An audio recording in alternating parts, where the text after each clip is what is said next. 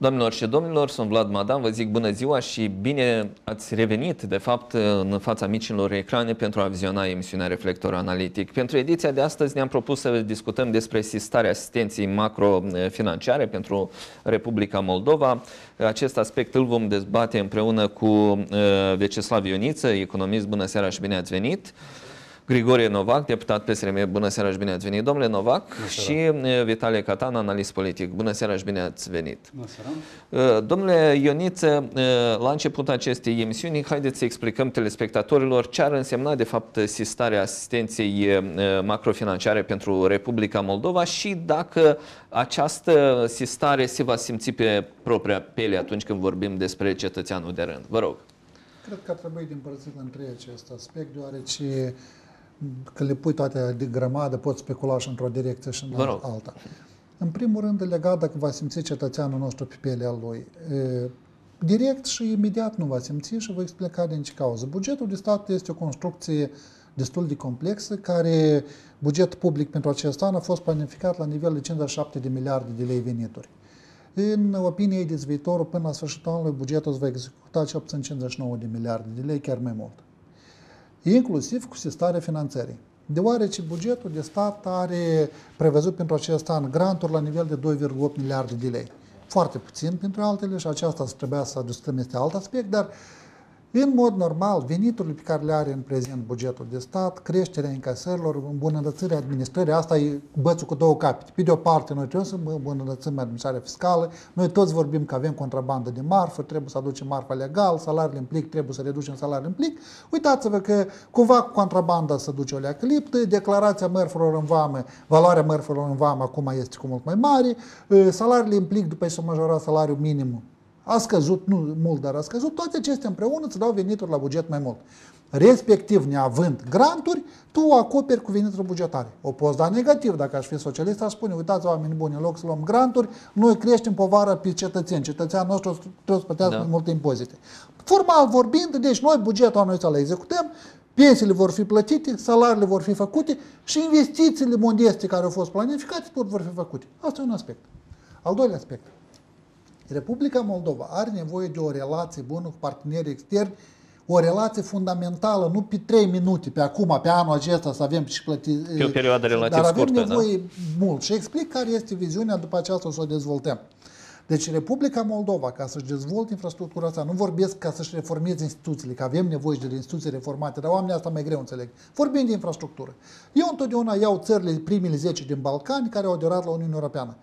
În perioada preaderării, prin anii 90, Uniunea Europeană a calculat că aceste țări să ajungă un nivel minimul de infrastructură, WC-uri în curte, în secolul 21, o țară care pretinde europeană, o țară care are două râuri, între două râuri și nu are irigare, nu are apă, oamenii nu au apă, cred că este o rușine. Ca să ai un nivel minim de infrastructură, Uniunea Europeană a calculat că țările trebuie să aloce anual 6-7% din PIB. Calculat la Moldova asta înseamnă 10 miliarde de lei anual. Respectiv, Republica Moldova nu are acest efort financiar și ai nevoie de susținerea partenerilor.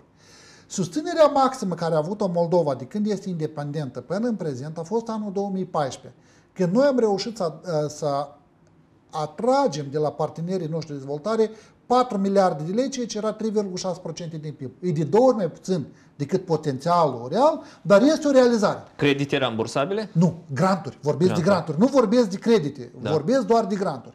Toate lucrurile acestea trebuiau să-ți rezolve problema de infrastructură. Acum, dacă cei care ne ascultă ați avut în sat o reparație sau ceva în ultima perioadă, curgetul a fost în 2014.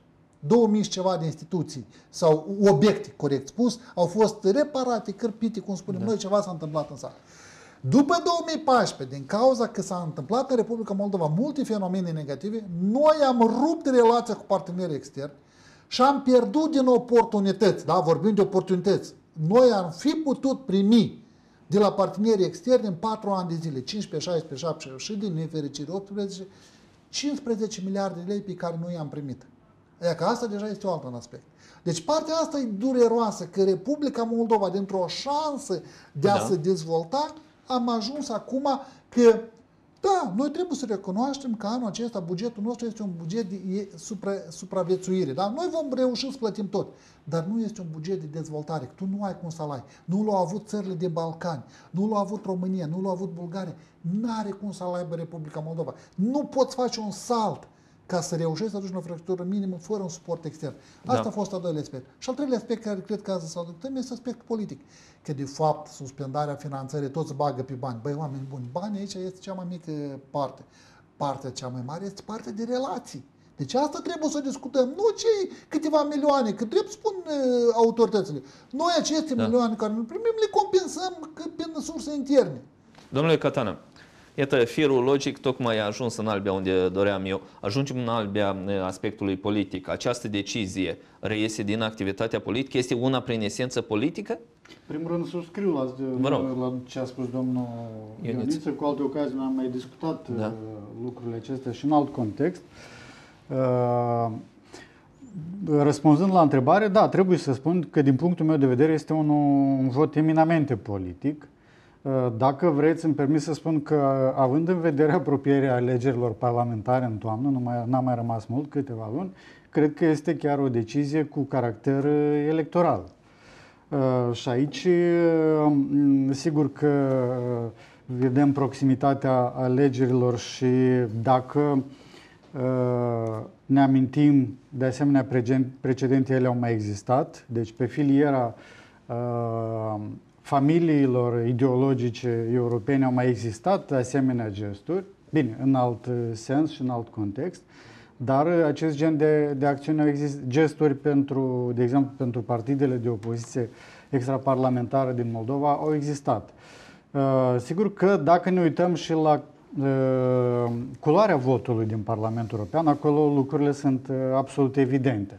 Domnule Catana, uh, purtat, deci, da. și aici trebuie să deci, dacă numărul parlamentarilor europene este de 751, dacă nu greșesc. Da, această rezoluție a fost votată uh, de 343. Și a fost votată de mai puțin de jumătate, deci mult mai puțin de jumătate. Își presupun că s-a întâmplat uh, anume pe filiera partidelor uh, populare europene, Împărtășiți același punct de vedere că și nu ne va afecta pe plan uh, economic lucrul ăsta? De... Și uh, purtătorul de cuvânt, domnul Gamurari de la Partidul Democrat, spunea că până la urmă lucrurile nu vor ajunge într-o albie așa nefastă. Nu, în primul rând, uh, suma, trebuie să spunem, chiar și pentru Republica Moldova nu este una foarte mare. Suntem noi o țară cu potențial mai redus, dar chiar și pentru noi suma respectivă nu este una foarte mare.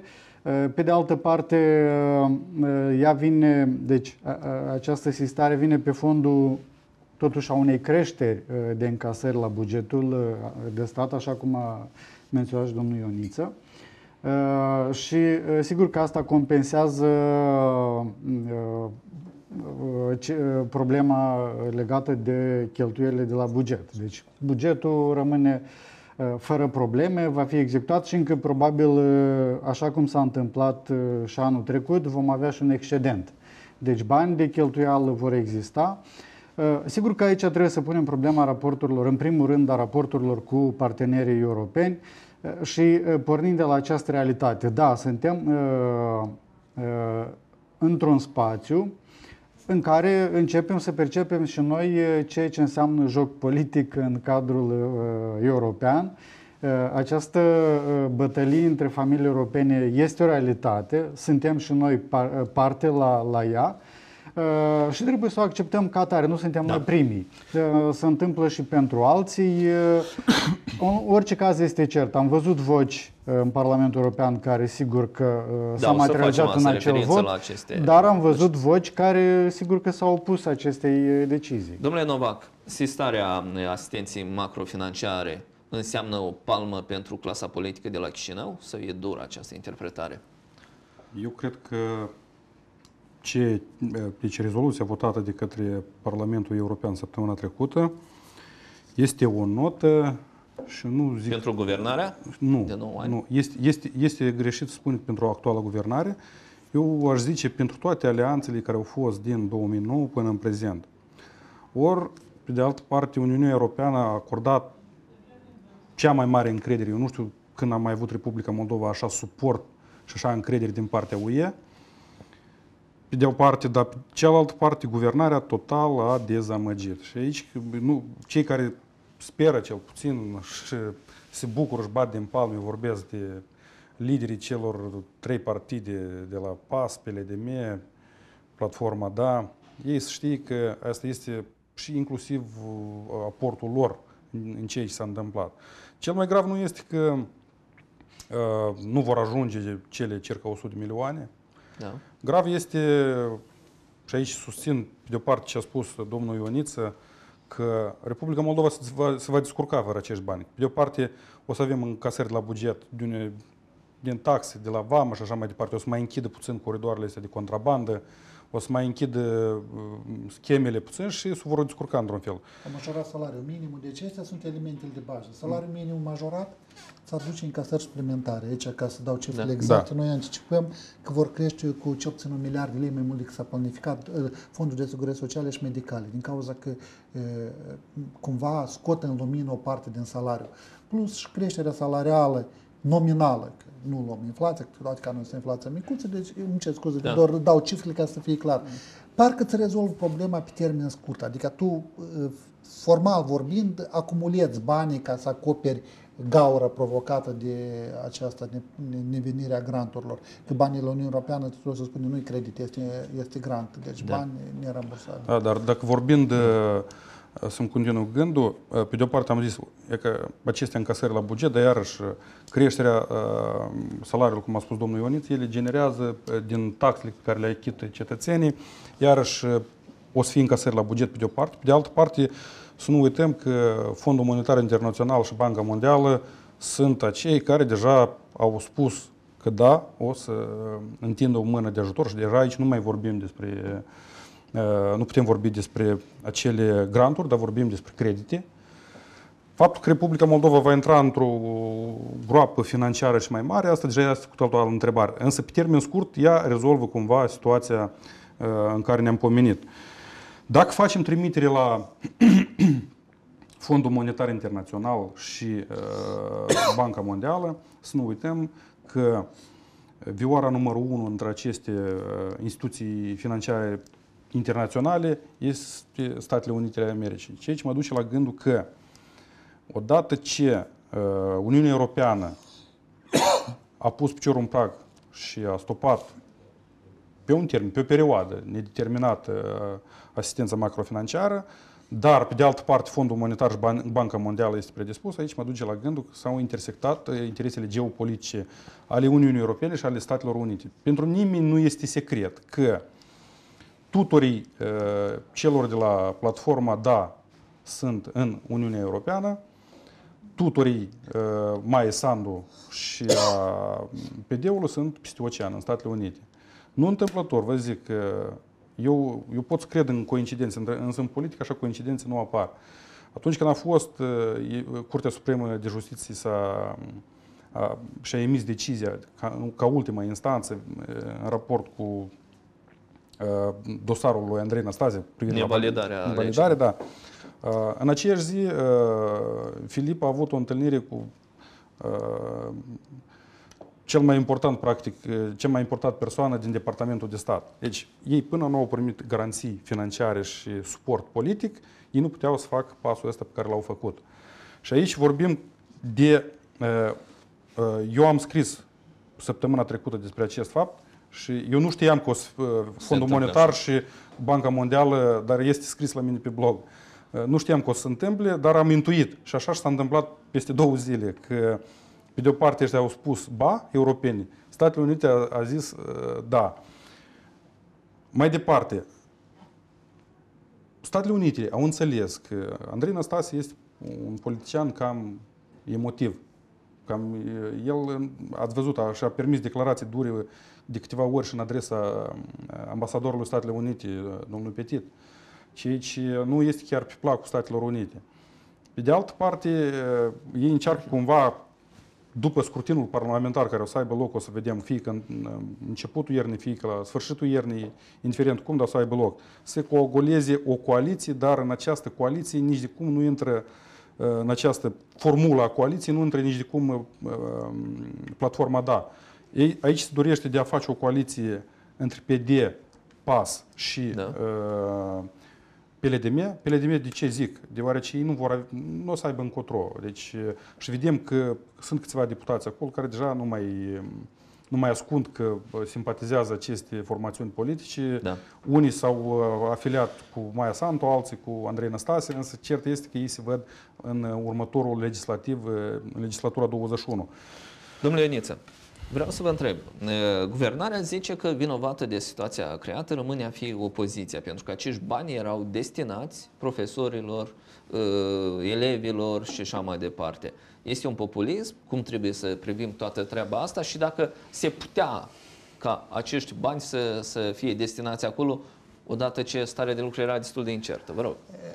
O leacă aici, da, o leacă, mă rog, fiecare politician și guvernare trebuie să-mi scoată și dividende politice. Trebuie ca zerii să întrebați pe ministrul finanțelor, vă rog să-mi arătați e, linia din buget unde banii mergeau. Nu, nu, nu este așa, lucrurile stau puțin nuanțat. Acum legat de femei și Banca Mondială. Da. Deci banii, banii care vin noi de la parteneri externi sunt de trei feluri. Și asta chiar de patru feluri. Deci primul tip de bani care vin la parteneri externi, ei susțin anumite inițiative care Republica Moldova trebuie să aibă loc, însă ele se dau prin intermediul societății civile și guvernul nu are nici o treabă cu ei, mai mult ca atât de multe ori guvernul este bucuros de banii ăștia. Deci asta este primul fel de sport care vine absolut fără nici o tangență cu guvernul. Da. A doilea formă de sport care vine, vin bani care vin în Republica Moldova la solicitarea guvernului, pe proiectele guvernului să sunt gestionate absolut în totalitate de către parteneri externi. Aceasta este proiectul Provocările Mileniului. Deci Guvernul Republicii Moldova nu vede banii aceștia cum nu i-ați văzut nici dumneavoastră. Guvernul ar spune vreau drumul acesta, iar mai departe Statele Unite în cazul ăla gestionează toți banii. Ultimii două feluri de bani sunt bani care intră în bugetul de stat. Prima formă de bani este cea care vine de la Banca Mondială, este bani care vine pentru anumite proiecte exacte. Acești bani sunt buni, dar ei sunt condiționați. Deci asta este suma de bani, noi spunem, mie îmi place noțiunea bani afectați. În ce sens? Bani care tu îi poți utiliza doar pentru o anumită destinație. Dacă nu e utilizat, tu nu mai primești. Noi prima dată am avut un astfel de sport din partea Uniunii Europene, era grant, care era bani pentru uh, un centru medical, 10 centri medicale și centru de la Universitatea de, de Medicină. Scopul era felul următor. Dacă voi, și încă era proiectul prima pentru destinație și doi, din tâi faci lucru, pe urmă îți dau bani. Ei erau destinați în anul 2013 și toată problema era că dacă nu făceam centrul ceala, 10 centri plus centru de la universitate, noi pierdam 90 de milioane de lei grant. Dar trebuia să găsești atâi 90 de milioane să faci centru, dar nu altceva, după asta ei vin și verifică. Și dacă e bun, îți dau bani. Dacă nu, spune, băi, băieți, n-ați făcut ce trebuie. Deci asta este forma când banii se dau pentru destinație. Guvernul nu-i prea plac banii aceștia. În ce sens nu-i place? Că tu ești dependent de donator, de proiect. Nu că nu ai nevoie de proiecte. Noi avem nevoie de proiecte. Noi, noi tot îi primim în baza unor proiecte. Dar în anumit moment tu spui, da, asta e prioritar. Dar tu nu poți face asta. Gata, donatorul spune, nu vrei, nu îi lua. Deci sau ei sau nu ei. Și a patra formă este susținerea macrofinanciară. Deci ea vine în mod special de la Uniunea Europeană. Uniunea Europeană ne-a dat ani de zile banii aceștia și ea nu a avut, nu a avut niciodată un mare interes să facă publicitate de aceasta. Deci Uniunea Europeană vine la guvern și spune, spuneți vă rog, ce vreți să faceți? Uite, noi vrem să facem reforma asta, reforma asta, reforma asta, reforma asta. Ok, noi vă credem. Voi dăm bani în buget și cheltuiți pe bază de încredere. Deci tu nu ai nici condiții că îi dai pentru școală, pentru educație. Deci eu te cred pe tine la tot pachetul de reforme, ți-am dat și ei acoperă, cum spunem noi, deficit bugetar. Domnule Poți, poți pre... să spui tu că sunt bani pentru copii, dar ei vin bani în buget și acolo s-au dus. Și aici doar ca să finalizez. Da. Nu există legătură directă. Noi am făcut odată politic. Dacă vă aduceți aminte că în România ne-a dat banii pentru grădiniță. Ei au intrat în buget și în mod formal, după ce au intrat în buget, gata, s-au, s-au dus, au dispărut legătura. Noi, vrând să arătăm că, mă rog, ne-au dat, eu că am ieșit atunci la tribună, spun, uite, banii ăștia care noi acum îi împărțim, îi împărțim pentru grădiniță, dar sunt bani de la Guvernul României. Nu există lege grădiniță de la Guvernul României. Există bani care au intrat în buget, și noi am decis că dăm la grădiniță. Domnule Aniță, dar spuneți-vă rog, sistarea asistenței asta macrofinanciare pentru Republica Moldova înseamnă și sistarea altui tip de finanțare? În ce raporturi economice ele, rămânem noi? Ele există legături foarte strânse. Vreau aici... E, e, sunt câteva elemente, printre altele, să pomenim da. de FMI. Eu nu mai țin minte, dar au venit reprezentanții Statelor Unite în Republica Moldova, cei care au formulat poziția fond, Statelor Unite în fondul monetar. Deci eu au fost în Republica Moldova ceva timp în urmă, da. pentru a se documenta pe teren și ei au fost cei care au formulat poziția Statelor Unite la fondul monetar și la Banca Mondială. Asta, ca să știți, s-a întâmplat nu, nu foarte de mult. Acum, legăturile există direct. E o singură diferență care este acum, trebuie să o spunem, pentru prima dată Republicii Moldova, i s-au pus condiționalități politice. Deci toate condiționalitățile care au fost formulate până în prezent de față de Republica Moldova erau de ordine economic. Vreau să vă spun că Fondul Monetar a formulat pentru Republica Moldova niște condiționalități foarte dure.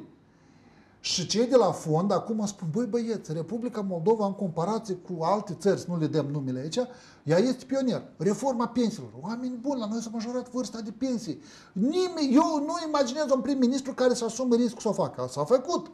Reforma sistemului bancar. Plângeau, dar votau. Deci s-a votat legi care în alte condiții nu se votau. Deci atunci Fondul Monetar spune, dar noi nu avem pretenții față de Guvernul Republicii Moldova, că la toate condiționalitățile noastre, care sunt foarte dure, ei le-au realizat. Au vândut banca. Deci au spus că vând banca, au vândut-o. Acum o bancă n-au vândut-o, că n-au reușit, dar noi ne uităm, bă, mărg, nu avem probleme. E relația cu Uniunea Europeană. Pe lângă condiționalitățile economice, 28 care unii le-au uitat, a fost formulat una politică și acea politică era, știți cum, 28 înmulțit cu 1. Și dacă la cele 28 ai, ai 100 de puncte și la ultima ai 0, toate cele 28, când s-o mulți cu ultima, ți-o dat 0. Deci ți le arde pe toate. Da. Și de, de aici apare un fel de, nu conflict, dar apare o, o, o deficiență dintre Fondul Monetar și Uniunea Europeană, că Fondul Monetar spune, băi băieți, în Uniunea Europeană a fost luată o decizie politică care nu este o, o chestiune tipică la fondul monetar, dar ei întotdeauna sincronizează lucrurile. Comisia, dacă vă uitați Uniunea Europeană, când a formulat cel 28 de puncte, ele au reieșit foarte multe de recomandările fondului monetar. Uniunea Europeană a spus, bă, noi nu ne pricepem foarte mult la bănci, dar ce a spus, că puțin dau mai da. simplu da. așa. Haideți Dar cei de la FMI au spus lucrul acesta. Deci aveți grijă, le-ați de plin și le faceți. Și, deci, toată diferența este că pentru prima dată supra Republicii Moldova s-a aplicat o sancțiune e, bazată pe o decizie politică. Asta trebuie să o înțelegem. Da. Uh, domnule Catană, democrații astăzi au spus că vin cu inițiativă de a majora uh, salariile aleșilor locali. Iată, avem pe de o parte sistarea uh, asistenței macrofinanciare, pe de altă parte această inițiativă. Iarăși, cum e, ar fi corect să privim? Există acoperire financiară la tot lucrul ăsta sau se încearcă o, o camufla? Vă rog. să punctez și la tema precedentă. Vă rog. Uh, Trebuie să insist asupra caracterului conjunctural al uh, rezoluției uh, Parlamentului European. Uh, de altfel, s-a menționat că ea vizează deja alegerile parlamentare și eu cred că acțiunea acestei sistări va fi până atunci. Sunt câteva luni și probabil că după alegeri lucrurile se vor consuma. Oricum, acele condiționări deci inclusiv acea unică care uh, pune capac la toate, uh, se consumă odată cu alegerile parlamentare.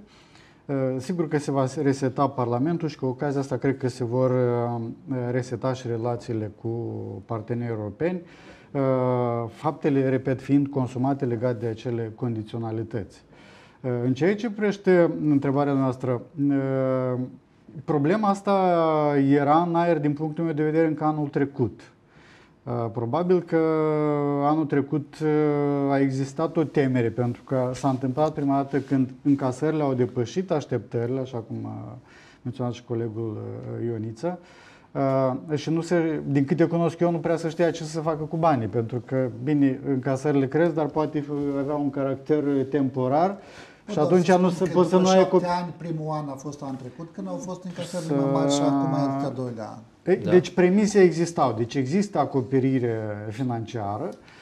Iar și probabil că s-a atestat o tendință și există acoperire certă pentru mărirea acestor salarii. Dar cum în ceea ce privește necesitatea, nu cred că este populism.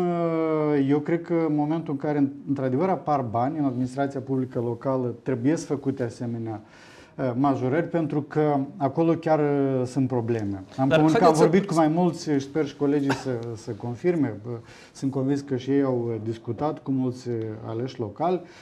De exemplu, este o problemă că, iertați-mă, s-a ajuns la anumite primării că nu poți să angajezi oameni că preferă unii să trăiască din banii de asistență socială care concurează cu salariile din administrația publică locală.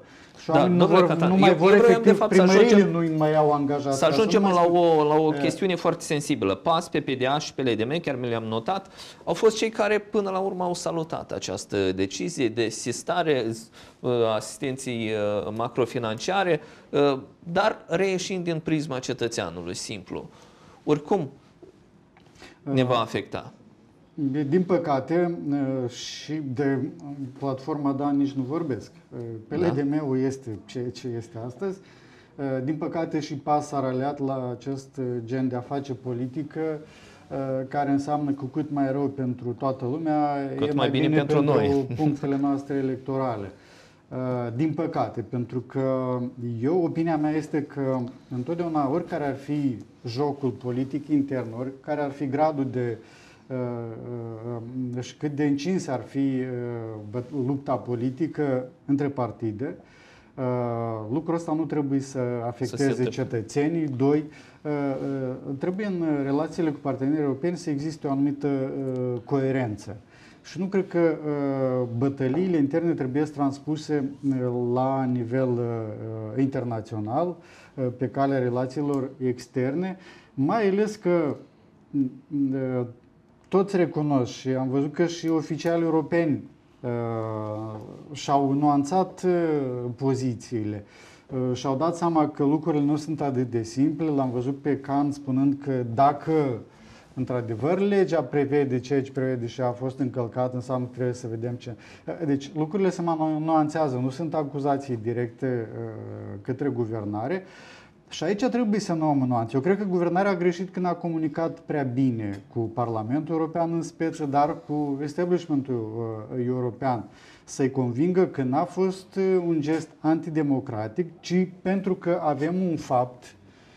Uh, ele sunt atestate, nu, nu le contestă apropo nimeni, uh, toți le recunosc, Uh, legea este cum este și uh, guvernarea cred că ar trebui să spună că eu cred că uh, uh, săgețile nu sunt îndreptate în direcția corectă sau dacă există o problemă trebuie văzut cum, trebuie, cum putem să o rezolvăm la nivel legislativ pentru că ele or să mai apară.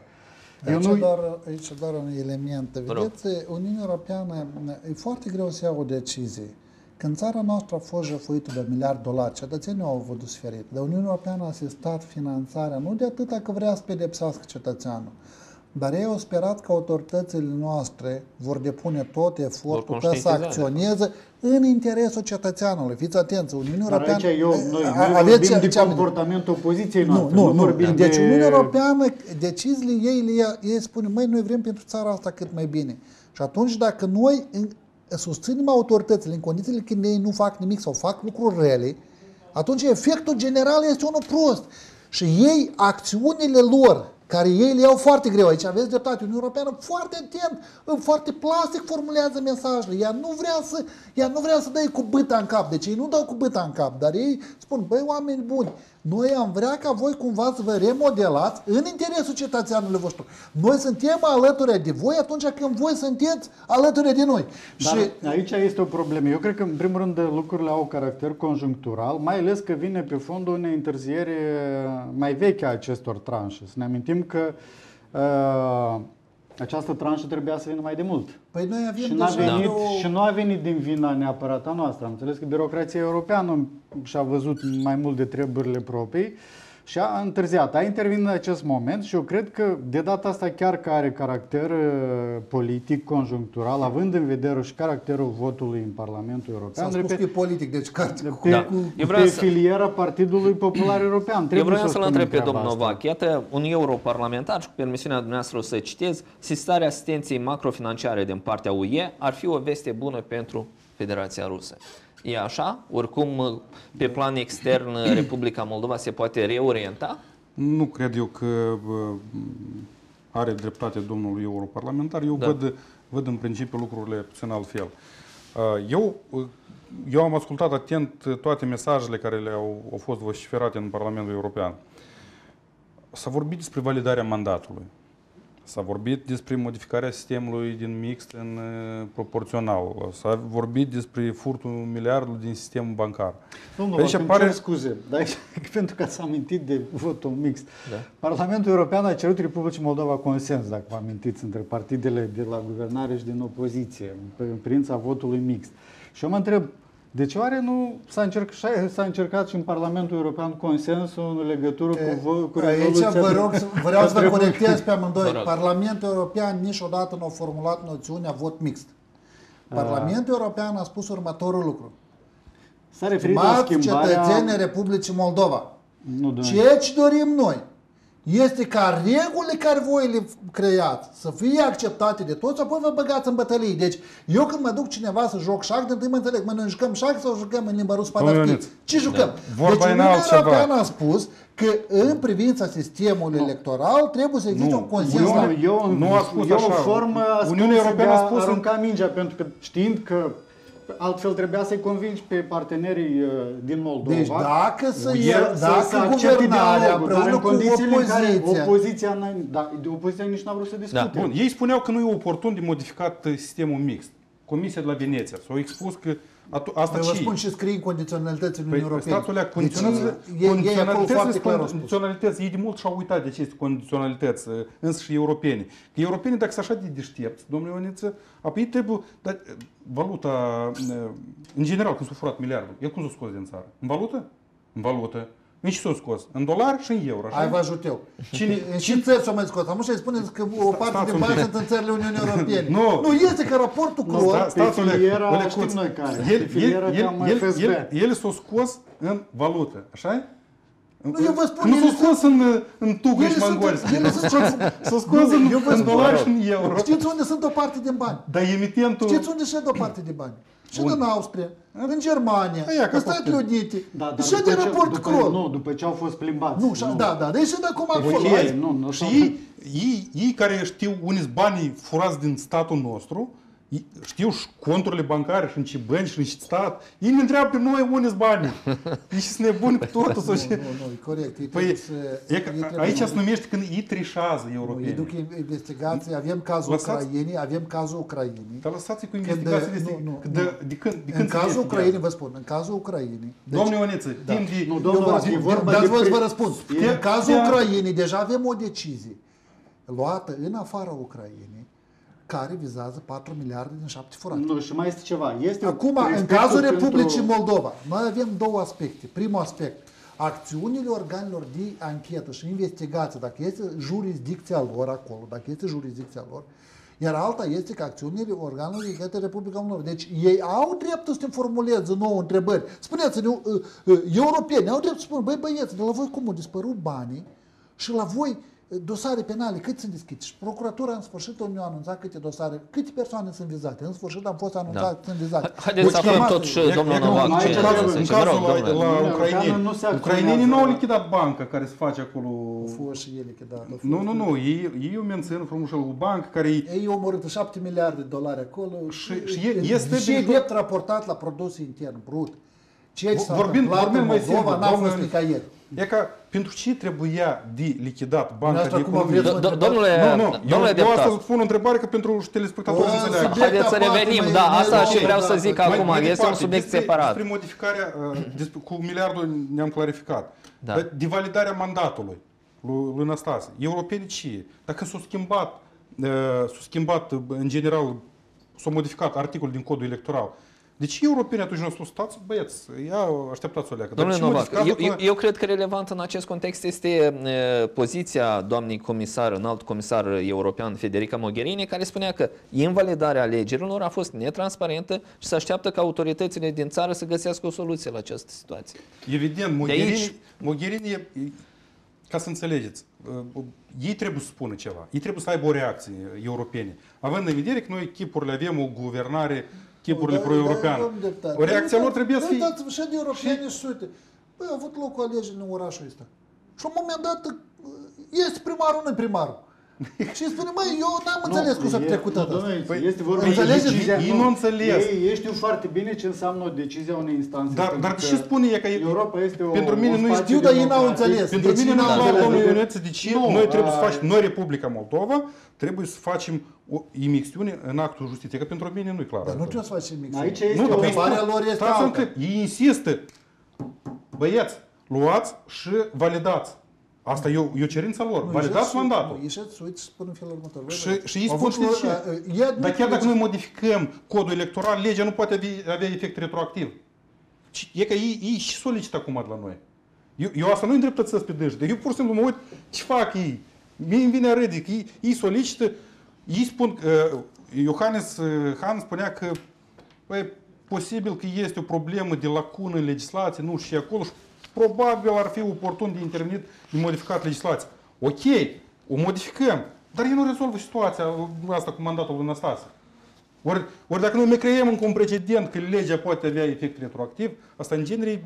Da, Apropo, domnul este o frântură, da, vreau o să revenim. Uh, uh, uh, în gândire, pentru că, pe de o parte, spui că nu trebuie să intervii politic în justiție, iar pe de altă parte cer guvernării să intervină cumva să schimbe o decizia de instanței. Ai, în atenție, vorba de decizia instanței și n-ai cum. Polit, nu are executivul sau chiar Parlamentul, nu are cum să intervină într-o hotărâre Principiul separării... Guvernul are instrument. Principiul, care, nu, guvernul are instrument. Aici e principiul separării Nu, nu, nu, are instrument, vă spun eu, prin reprezentantul Ministerul Justiției la Curtea Consiliului Superior al Magistraturii. Doar dacă, ar exista un, un motiv de revizuire, dar... Nu, da. deci instrumentul există, să nu spunem că nu există, instrumentul există. Guvernul da. prin omul lui poate, dacă, da, iarăși, dacă a fost depistat că judecătorul ce a fost prin păi, da, asta trebuie să, să fie demonstrat. Da, da. Păi, asta, păi eu spus, uitați-vă, și atunci guvernul trebuie să uite, spun, noi am verificat, n-am găsit nimic. E totul ok, da? da nu, nu, eu cred că aici trebuie... Dar guvernul încă n-a spus asta. Și, deci guvernul, spus și guvernarea, în general, să aibă uh, grijă, să fie mai atenți la comunicarea cu uh, instituțiile europene în acest caz. Pentru că eu cred că, de exemplu, la dezbatere n-am văzut cineva să exprime poziția uh, autorităților moldovenești, a guvernării. Cred că trebuia cineva să meargă acolo și să explice cum s-a întâmplat, de ce s-a întâmplat și cine a cauzat. La urmă, eu aș fi spus uh, prietenilor noștri europeni, domnilor, uh, uh, iertați-mă, dar inițiativa de modificare a legii, a codului electoral, a venit de la uh, unul din partenerii uh, actuale opoziției, de la domnul Deliu. Noi am mers în întâmpinarea lor, am acceptat, le-am uh, făcut pe plac și acum tot noi suntem guvernare acuzați da. că... Domnule Domnule era mai oportun să spună că legea da. asta când au făcut-o, când au, când au modificat uh, codul electoral, au făcut-o împotriva socialiștilor anumiți. Exact sub da, caracter, uh, Faptul că uh, a avut efectul bumerangului și a trăsnit drept în frunte cei ce a vrut da. să ne pună nouă, noi care am respectat legea, bine, e ok, noi am respectat-o că așa o facem noi tot timpul, dar de ce nu vorbesc despre asta? Da. Uh, domnul Ioniță, Trebuia să mergi acolo. Să PD-ul zice că avem o creștere economică și în acest an toate uh, proiectele care au fost lansate vor ajunge, vor avea o finalitate uh, cu succes. Avem creștere economică? Cât de, cât de reală este, cât de palpabilă în ultima instanță? Este, știți, unica ce eu vreau să spun. Eu tare îmi place noțiunea restabilire economică. Da? Noi am avut anul 2014, după asta ne-am prăbușit și acum ne ridicăm înapoi și avem o restabilire economică destul de rapidă. Asta trebuie să o spunem. 4 și ceva procente creștere o țară atât de săracă, dacă are mai puțin de 10%, nu crește. Nu trebuie să știți nemulțumită lui Ziedaru. Deci, da, avem o creștere, dar comparativ cu unde suntem noi, nu este o creștere. De la fundul gropii, că exact, exact. jumătate de groapă. Cu exporturile, haideți să luăm cu exportul. Da? Noi, unicul factor de la noi e pozitiv, exportul. Anul trecut au crescut puternic, anul ăsta crește puternic. Da, trebuie să recunoaștem o parte foarte mare, îi ține de exporturi, dar oricum se creează valoare adăugată în Republica Moldova. Locuri deci de muncă, se creează locuri de taxele, muncă, da. e- impozite, totul se achită. Deci s-au creat e, e, în zonele economice libere vreo 12.000 de locuri de muncă. Anul ăsta, dacă dă bine, iar se creează. Deci am putea spune că parcă stăm bine. Inflația. Inflația a ajuns în anul, în luna mai, a ajuns la 0%, în valoare anuală 2,8%. Parcă e bine, da? 2,8%. Dar eu vă iau pe invers, că trebuie să o spunem și partea bună și partea... Partea- În condiția când la tine se apreciază valuta, da? Ai o apreciere a dolarului de la 20 la 16, ai o apreciere a eurului de la 22 la 20. leului în raport. Da, a leului față de dolar, a, dola, Da. a leului față de euro. Ai o apreciere valute. La tine mărfurile sunt de import, da? Înainte tu importai ceva care costa 20 de lei, un dolar, și acum tu când îl aduci în țară, el dă 16 lei. Dumneavoastră ați văzut ieftinire de marfă cu 20%, 17%. Deci noi n-am văzut ieftinire de marfă. Bă, noi avem o inflație micuță acum. Dar ținând cont că noi majoritatea mărfurilor le importăm, Întrebarea mea este, dar unde e scăderea prețurilor? Deci noi ar fi trebuit să avem Nu o se scădere de înregistrează. prețuri. De aceea eu mă bucur că inflația e 2,8%. Dar când mă gândesc că ce era înainte 100 de dolari e, s-a ducea marfă, cât era și acum cât e, mă scarp în la, fea- la șeafă și spun, da, agenții noștri economici importatori ne cam jupoaie de piele. Noi am spus-o pe segmentul energetic, am arătat acolo că când în Moldova s-a întâmplat, taman în perioada cea mai bună, când au scăzut prețurile la resurse energetice, când s-a depreciat valuta, când s-a apreciat valuta noastră, dar eu uitat scadă prețurile. Mâine tot avem o creștere pentru Păi pe acum, tangențial. acum deja știți de Da. ce cresc? Ele acum cresc, că piața internațională cresc. Noi când am fost bine, Da. uh, ei au făcut ce au făcut cu noi și acum plătim. Domnilor, mai avem patru minute în cadrul acestei emisiuni. Vreau să vă întreb, domn Catană, există premise reale în viitorul apropiat să uh, fie deblocată finanțarea pentru țara noastră? Dacă ne facem, nu știu, tema pentru acasă și în ce ar consta treaba asta? Uh, Din punctul meu de vedere, așa am atins Da. uh, răz- subiectul răspunzând anterior. Uh, Eu cred că lucrurile vor fi duse spre alegerile parlamentare, de asta am spus că și gestul uh, partenerilor europeni are caracter conjunctural, politic, chiar electoral. Uh, și, uh, așa cum am spus, ele se vor consuma odată cu alegerile parlamentare, mai ales că uh, n-a rămas mult, iar uh, câteva luni. Asta poate fi și 2019. Chiar și dacă se, oricum câteva luni, nu mai Da. mult.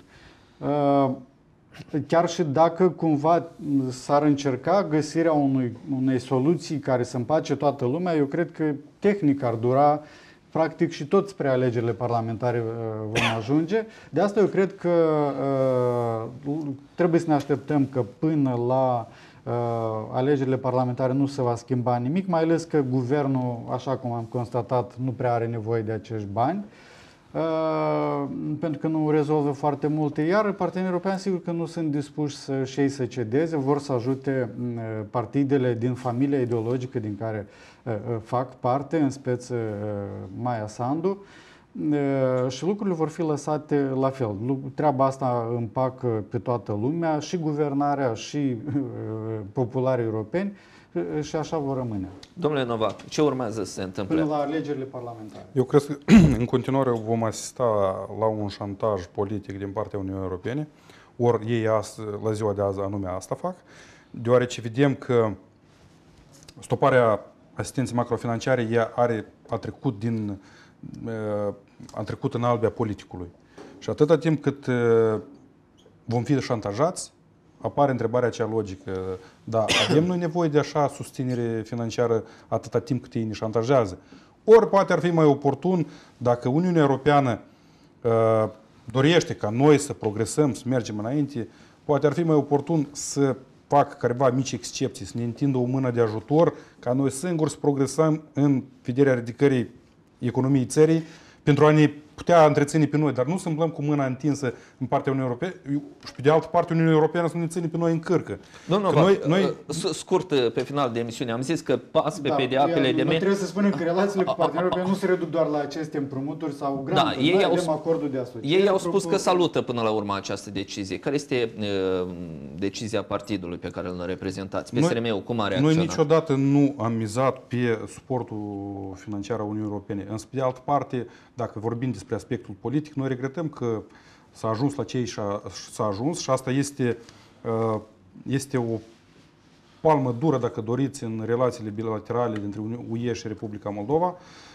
Asta este o notă, să zicem așa, nota 2 la purtare pusă nu doar actualele guvernare, dar acelor, acelor formațiuni politice care se prezintă drept opoziție, opoziție de dreaptă, mă refer la platforma DA, PAS, PLDM. Deci ei toți împreună, la o etapă sau alta, au făcut parte din guvernare.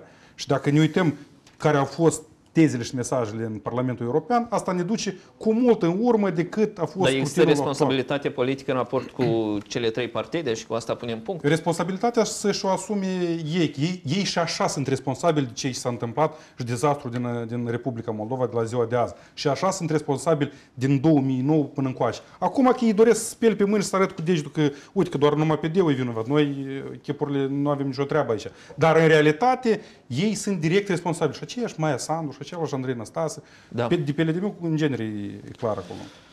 Scurt, domnul... Doar o frază. Uniunea Europeană, doar, sport financiar este cea mai, una din micile instrumente care le folosește, el oferă asistență și dore, cel mai mult ce dorește Uniunea Europeană să creștem volumul de vânzări și relații comerciale cu Uniunea Europeană, să avem investiții din Uniunea Europeană în Republica Moldova și pentru aceasta sunt nevoie de o sumedenie de acțiuni, inclusiv și suportul financiar, care trebuie să ne facă mai puternici. Deci asta se dorește, trebuie să o dorim și noi. Deci ei doresc. Domnule Ioniță, da, instrumentarul pe care îl utilizează, iată, reprezentanții Uniunii Europene, nu vin în interesul propriilor interese? Nu, Condițiile dau. sunt transparente totalmente? Nu, n-am vorbit foarte mult. Dumneavoastră da. știți că Angela Merkel a lăsat un consilier a ei aici în Republica Moldova, care eu cred că inclusiv datorită lui au venit companii germane care au investit și au creat 10.000 de locuri de muncă. Despre asta nu s-a vorbit public niciodată. Deci el a venit aici ca să meargă cu relațiile lui, să convingă companiile germane să vină să investească în Moldova ca să creeze locuri de de muncă.